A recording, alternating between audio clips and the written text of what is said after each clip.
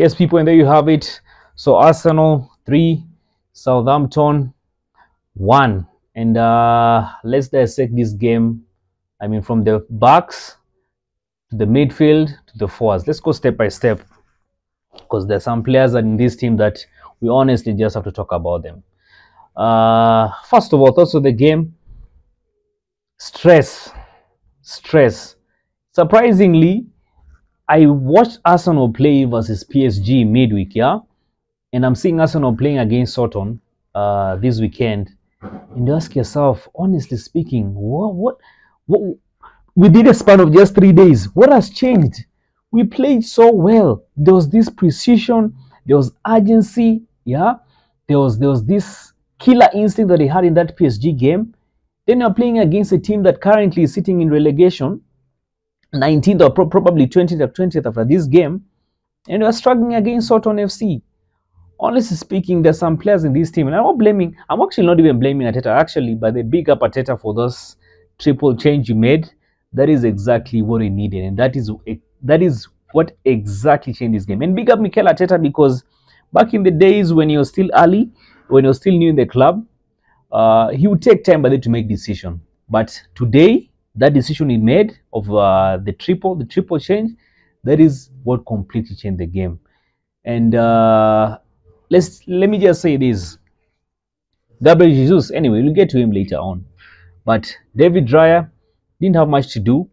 Uh, made some saves, but also gave me stress. Uh, there's some minutes. I mean, thinking the additional time was it the night? Towards towards the 90th minute, Southton actually almost scored. So really can't blame Raya. Didn't really have much to do. Gabriel Jesus, uh, Gabriel Jesus, uh, Gabriel Magalhaes, and uh, and uh, and Saliba basically doing what they always do. Thomas Partey also played okay in the right back position. Actually, today was playing that right back position just as he was early last year in the first leg when Mikel Arteta was still trying to come up with, you know, trying to test the waters and trying to test different systems. So Partey was okay, but in that right back position. Calafiori, my God, honestly speaking, by the way, well, anyway, listen, uh, maybe I'm being too critical. It's still early days for him as far as the club is concerned. But let me say this today has exposed Calafiori. There was this part of me that was quite skeptical with his defense, with the, with the, with his defensive, uh, with his defensive side. But today's game, there's a problem, and I think that needs to be sorted out. Honestly speaking, I'm seeing Calafiori, and I'm just seeing another. I'm just seeing another Zinchenko. What's the difference? Going forward, the guy is playing some good football, but when it comes to defense, I mean, look at the game he played versus uh, Man City. Look at how Savinho gave him a rough time. Look at today's game. The Soton player was actually giving Calafiori a hard time. So honestly, Calafiori maybe still early, still trying to settle on the team. Seven games in, but uh, there's some things on that defensive bit he really needs to improve. And with with uh, Jurrien Timber and Tomiyasu coming back in, uh, believe me, if he doesn't improve his game, he's going to be benched. We go to the midfield, Jorginho. Listen, uh, we've seen Jorginho at his best at Chelsea, but the truth is this: he's done. Jorginho, in fact, I watched the guy play. I didn't even see him get the ball. He's supposed to be the creative midfielder. He's supposed to be creating things. He's supposed to be. We're supposed to be seeing. You know, I even don't know why Mikel Arteta didn't even play Ware in that game. Honestly, Ware would have done a better job than uh, Jorginho. So Jorginho, for me, I think he's done. He's done. He's no longer the Jorginho. The football has left him. So he's no longer the Jorginho that we saw uh, a while back at Chelsea. Now we go to Declan Rice, at the moment, I think the system we are playing is also confusing for Declan Rice. He's all over the place. He's losing balls. He's not as clinical. Uh, so Declan Rice, I've also not been impressed with him so far. Uh, yeah, Declan Rice, nah, nah, nah, nah, nah, nah, nah. So, I mean, let's go to Havertz because apparently Havertz today was playing in the midfield. At, uh, at, the same time, I was also seeing him, you know, switching. There was all these diamonds, all these diamond things that are actually going on today as far as the game is concerned. But honestly speaking, Kai Havertz, from all the players so far, Kai Havertz seems to be the bet. He seems to be the better player from all these players that I'm actually seeing in the team. Kai Havertz seems to be he seems to be the best player right now. Imagine me saying that.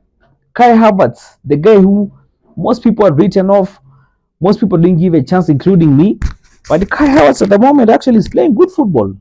The goal is scored, man. What a goal by Kai Havertz. So Havertz is a weird player. There are those moments that, like the first half, we really didn't see much of him. But the second half, immediately scored that goal. The guy got in the game, and honestly speaking, looking at Havertz right now, he's the best player as far as the team is concerned. Now we go to Saka. Uh, an assist, a goal. Saka played all right, uh, though he, he could have done better, uh, but still not there yet.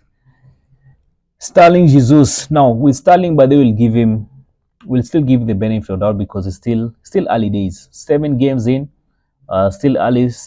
Don't want to be really harsh on him. Still needs to settle on the team.